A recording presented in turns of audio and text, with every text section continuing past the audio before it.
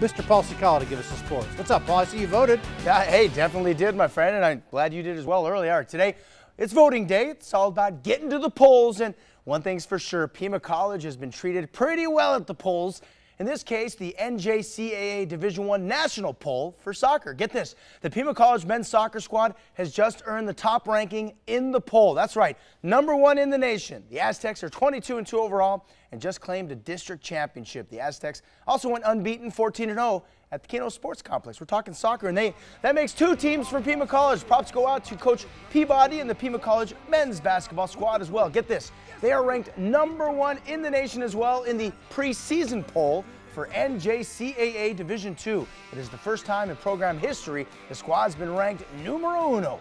Three starters returned for a team that finished 31 and 5 overall. Two of them, Abraham Carrasco of Cholla High School and Robert Wilson of South Point, are Tucson natives. The Aztecs open up their season on November 9th.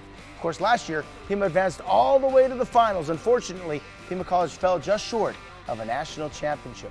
Hey, don't forget, Coach Adia Barnes on the women's end and Coach Sean Miller on the men's end are done with the exhibition season in hoops. The U of A men's squad opens up tomorrow against Houston Baptist at McKale Center, while the women's squad will take the court against Idaho in their home opener this Friday. This is footage of Monday night's exhibition victory over Western New Mexico. Coach Adia Barnes and the Lady Wildcats won both their two exhibition games by over 100 points combined. Not too bad.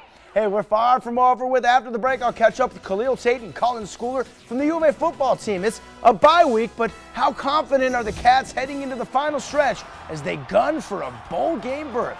More sports, more energy, more football, fun after the break.